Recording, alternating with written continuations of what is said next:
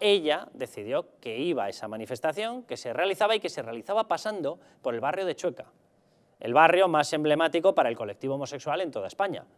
Bueno, lo permitió. La gran pregunta es ¿por qué?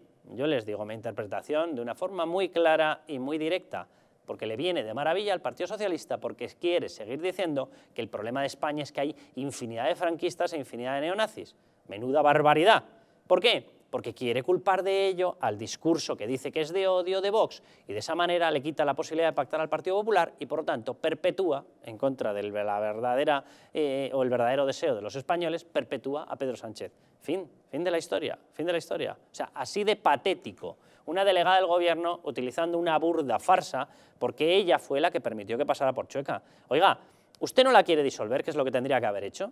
Bueno, uno, uno la disuelve, pero dos, si no la quiere disolver, les manda lógicamente a un barrio donde sus cánticos contra los homosexuales pues no los escuchen ni tres gatos y se acabó la historia.